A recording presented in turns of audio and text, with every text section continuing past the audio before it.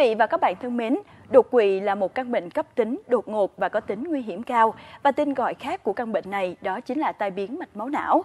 Và bệnh tình xảy ra khi việc cung cấp máu lên một bộ phận của não bộ bị ngưng trệ đột ngột. Chính vì thế mà việc à, trang bị những kiến thức để chúng ta có cách phòng ngừa, phát hiện sớm và xử lý kịp thời các bệnh này là vô cùng quan trọng. Ngay sau đây thì mời quý vị và các bạn hãy cùng đến với một số thông tin về sức khỏe. Đột quỵ hay còn gọi là tai biến mạch máu não là một trong những căn bệnh nguy hiểm đối với sức khỏe con người. Đột quỵ làm cho phần não được cấp máu bởi động mạch rơi vào tình trạng thiếu oxy và tế bào não sẽ chết chỉ sau vài phút. Bệnh nhân có thể bị liệt, hôn mê, thậm chí tử vong tùy thuộc vào diện não bị ảnh hưởng và mức độ trầm trọng của tổn thương. Vì vậy, nhận biết và xử lý kịp thời các dấu hiệu của đột quỵ vô cùng quan trọng.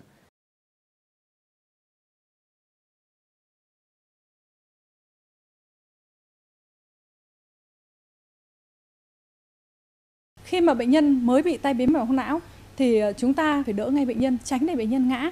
Bởi vì khi ngã thì sẽ làm cho tổn thương nặng nề lên. Cái thứ hai là khi mà đỡ bệnh nhân rồi thì ta đặt bệnh nhân nằm, ờ, đặt nghiêng đầu sang một bên và nếu bệnh nhân có nôn ói thì chúng ta phải dùng tay để móc hết cái chất nôn ói ra. Cái thứ ba nữa là ờ, đưa ngay bệnh nhân đến cơ sở y tế gần nhất bởi vì chúng ta biết rằng là trong tai biến mạch não ngày nay thì đã có cái phương pháp để chuẩn đoán bệnh nhân tai biến mạch não rất là hiện đại Uh, chúng ta có thể chụp CT MRI ở các cái cơ sở y tế nếu như có phương tiện hiện đại. Hiện nay là trong một số các cái tuyến huyện cũng đã có cái cái uh, phương tiện này và khi chụp lên thì chúng ta phân biệt được là chảy máu não do sốt huyết não hay là nhồi máu não. Thì uh, nếu như chúng ta đưa bệnh nhân đến cơ sở y tế sớm nhất mà sẽ uh, trong cái ba cái giờ đầu, tức là ngay từ lúc bệnh nhân bắt đầu bị uh, đến giờ thứ ba người ta gọi là giờ vàng. Uh, khi mà thấy người nhà ngã bất tỉnh ra như vậy, uh, không phát hiện được ra là bệnh nhân bị tai biến mạch máu não uh, khi mà đã có liệt hoặc là đi cầu đi tiểu không tự chủ ra rồi vẫn còn tiếp tục cạo gió hoặc là lễ uh, ờ, hoặc là có thậm chí còn cúng bái nữa thì rất là nguy hiểm.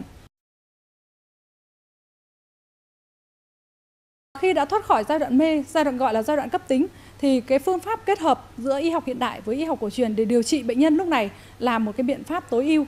À, vậy y học hiện đại sẽ làm những cái gì? Là cấp cứu bệnh nhân qua giai đoạn hôn mê.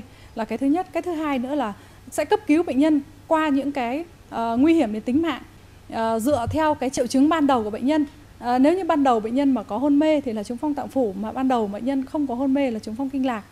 Thế khi mà bệnh nhân được điều trị bằng học cổ truyền uh, là qua giai đoạn cấp cứu uh, chúng tôi sẽ khám bệnh nhân uh, theo vọng văn vấn thiết của đông y.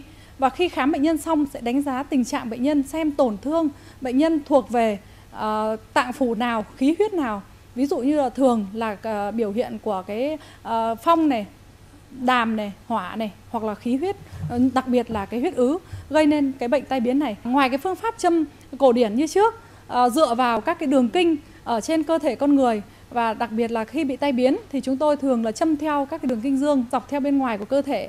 Thì chúng tôi kết hợp châm cứu cải tiến uh, bằng cách là khám cái sức cơ của bệnh nhân xem là cái nhóm cơ nào bị yếu bị liệt Ờ, thì chúng tôi sẽ kích thích vào hai đầu của nhóm cơ đó. Song song với châm cứu thì chúng tôi kết hợp với tập luyện. Thì có các phương pháp tập luyện cho bệnh nhân. À, nếu như bệnh nhân mà nặng chưa có thể ra được khỏi giường thì chúng tôi tập thụ động. À, tại đến tại giường bệnh để tập thụ động cho người bệnh. À, kết hợp với tập là hướng dẫn cho người nhà để người nhà cùng phối hợp điều trị cho bệnh nhân được tốt. Khi mà bệnh nhân đã có được cái ý thức trong đầu thì ngoài cái việc châm cứu cải tiến là chúng tôi kết hợp với bệnh nhân cùng châm cứu. Thì khi tập chúng tôi cũng kết hợp với bệnh nhân cùng tập với lại uh, kỹ thuật viên để cho các cái uh, kích thích các cái nhóm cơ hoạt động được tốt hơn.